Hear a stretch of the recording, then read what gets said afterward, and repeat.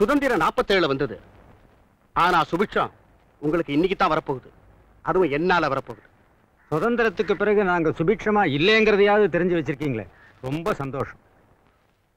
விஷயத்தை சொல்லுங்க.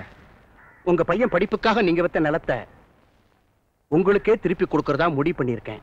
அது மட்டும் இல்லைங்க ஆத்தங்கர ஓரத்துல இருக்க ஒரு தென்னந்தோப்பு அதுக்குள்ள உங்களுக்கு ஒரு பங்களா கட்டி தரலான்னு இருக்கோம். என்ன யோசிக்கிறீங்க? எவ்வளவு லாபம் கிடைக்குங்கிறத தெரிஞ்சுக்கிட்டு தான் ஒரு காரியத்திலேயே இறங்குற முதலாளி நீங்க. இப்ப என்ன லாபத்தை எதிர்பார்க்கறீங்க? புரியலையாப்பா. ஆட்டை பலி கொடுக்கறதுக்கு முன்னாடி அதுக்கு மஞ்சள் தண்ணி ஊத்தி மாலை போட்டு அலங்காரம் எல்லாம் பண்ணுவாங்கல்ல? அந்த மாதிரி தான் இதுவும். செந்தோடனோட பழக்கம் வச்சுக்கிட்டு இருக்கீல்ல? அதான் உன் பேச்சுல ரத்த வாடை அடிக்குது. ம், ம். நானே சொல்லணும்னு நினைச்சேன். ஏன் அந்த செந்தோழன் கூட சேர்ந்து உன் வாழ்க்கையை கெடுத்துக்கிறேன் உன் படிப்புக்கு தகுந்த மாதிரி என் சர்க்கரை ஆலையில உனக்கு மேனேஜர் வேலை போட்டு தரேன். என்ன சொல்ற? ம். இவ்வளவு செய்யறாரு ஐயா. பதிலுக்கு உங்ககிட்ட என்ன எதிர்பார்க்கிறாரு? விசுவாசம் தான் எதிர்பார்த்தேன். நீங்க செந்தோழன் கிட்ட இருந்து மட்டும் என்ன விலகி வர சொல்ல. ஏன் மானம் மரியாதை கௌரவம் இதெல்லாம் விட்டு விலகி? இதோ நிக்கிறாங்களே ஜால்ரா கும்பல். இவங்களோட என்னையும் வந்து நிக்க சொல்றீங்கல்ல? என்னங்க அது உங்க பையன் கொஞ்சம் கூட அடக்கலாம் பேசுறான் அடிக்காம பேசினானேன்னு சந்தோஷப்படுங்க. காசுக்காக என்ன விற்க நான் தயாரா இருந்திருந்தா ஒன்ன மாதிரி ஜாதியில என்னைக்கோ சேர்ந்திருப்பேன். வாடா போலாம்.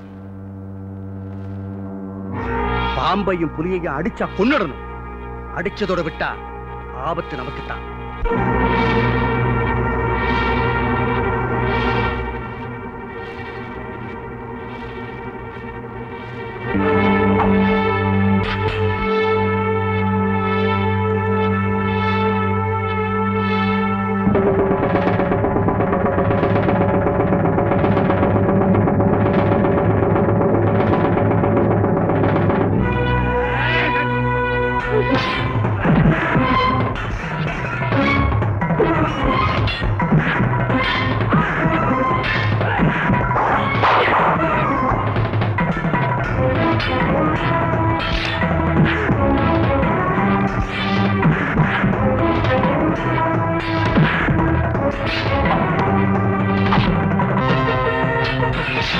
தான்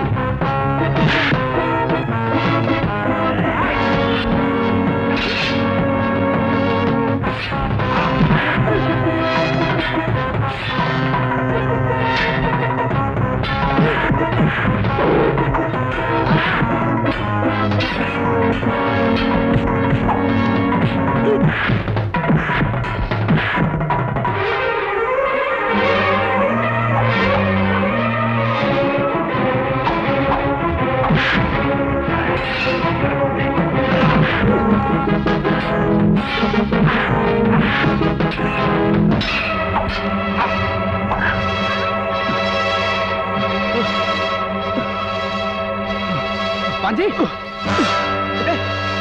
பாஞ்சி பாஞ்சி என்னடாச்சு? சொல்லுடா.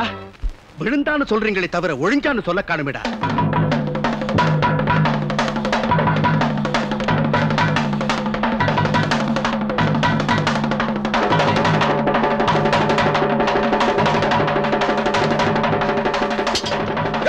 யோ சங்கர்லிங்கம் போயா வெளியே மாடசாமி எங்க? என்ன கேட்டா? ஒன்ன கேட்காம? அதுல கை வச்சு இதுல கை வச்சு கடைசியில அடிமடியிலே கை வைக்க ஆரம்பிச்சிட்டீங்களா? யார் வீட்டுக்குள்ள வந்து யாரடா மிரட்டுற? நீ இங்க நுழைஞ்சதே தப்பு. என் தலைய வாங்க வந்தியா? உன் தலைய வாங்க ஆள் வச்சிருக்கேன் பார். இன்ஸ்பெக்டர்? சங்கர்லிங்கம் ரொம்ப நாளா வாலாட்டிக்கிட்டு இருந்த செந்தோட இன்னைக்கு வசமா மாட்டிக்கிட்டான். அவனை கொஞ்ச நாள் உள்ள வச்சு பக்குவப்படுத்தி அனுப்புங்க ஆ? என்ன அது இப்படி பண்ணிட்டியே. நீ ஊருக்குள்ள இருக்கிற தைரியத்துல தானே நாங்கெல்லாம் சுதந்திரமா இருந்துட்டு இருக்கோம் இப்படி விசுக்குன்னு அருவாள் எடுத்துட்டு பொசுக்குன்னு உள்ள வந்துட்டியே. நீ ஊன் ஒரு வார்த்தை சொல்லியா? எங்க உயிரை அடகு வச்சாவது உன்னை ஜாமீன்ல கொண்டு வந்துடுறோம். ஏன் இப்படி அலற? நான் என்ன திருடிட்டு ஜெயிலுக்கு வந்துட்டேனா? இல்ல கள்ள நோட்டு அடிச்சுட்டு வந்துட்டேனா? டேய் நீ அவனை வெட்டிட்டு வந்திருந்தீன்னா நான் உண்மையிலேயே சந்தோஷப்பட்டிருப்பேன். நான் வர வரைக்கும் கொஞ்சம் பொறுமையாயிரு. நான் வெளியே வந்த உடனே அவனையும் அவன் கூட்டத்தையும் கூண்டோட ஒழிச்சிடுறேன். பேச்சுல ஒண்ணும் குறைச்சல் இல்ல இப்படியே புரட்சி போராட்டம் ஆர்ப்பாட்டம்னே திரிங்க ஆனாலும் உங்க வருங்கால மாமனார நீங்க இவ்வளவு கஷ்டப்படுத்த கூடாது ஆனாலும் என்னுடைய வருங்கால மாமனார் ஜனங்களை இவ்வளவு கஷ்டப்படுத்தக்கூடாது. அது போகட்டும். எப்ப நம்ம கல்யாணம். அதுல ஒரு சின்ன தடை இருக்கு. தடையா? எங்கப்பாவா? ம்ஹும். உங்கப்பாவா? என்னுடைய உயிர் நண்பன் செந்தோழன் அவனை மீறி என்னால் எதுவுமே பண்ண முடியாது. அவன் மட்டும் எனக்கு துணையா இருந்தானா ஒரு மலையை என்னால சுமக்க முடியும். உங்க அப்பாவோட மூடி வரான் பாபா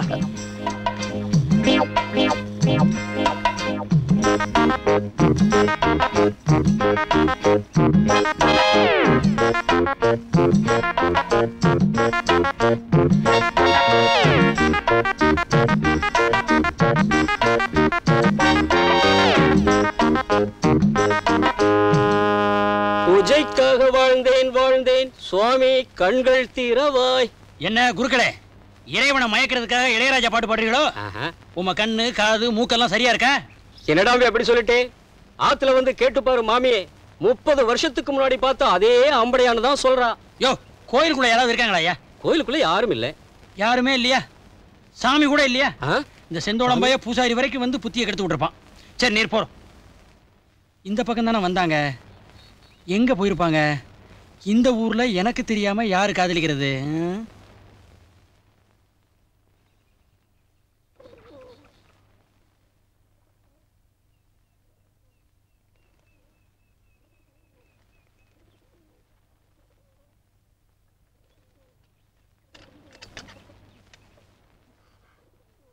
என்னங்க?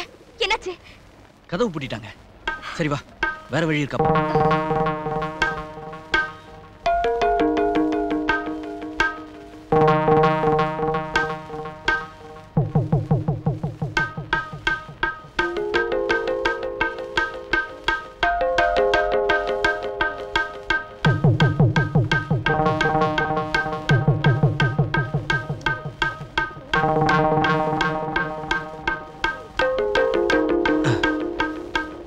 ஒரு காரியம் பண்ணு.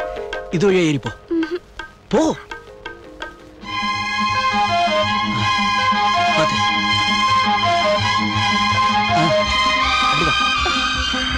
ஏறு. பயப்படாது ஏறு. Very good.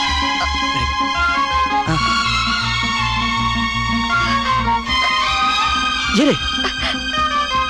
என்னாச்சு? ஏறு ஏறு. ஏறுங்கிறல்ல. போ போ.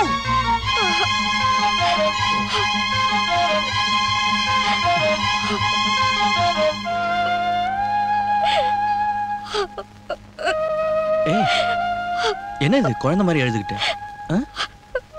இப்போ எப்படிங்க வெளியே போறது? அதான் நானும் யோசிக்கிறேன்.